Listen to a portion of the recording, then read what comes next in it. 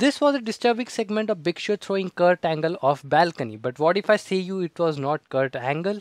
It was his brother Eric Angle. Yes, after one point in that whole segment, WWE didn't show his face. Eric Angle comes up, steps in for me. Get out of here. If you notice, they cut the camera and cut back, and the head's a little smaller.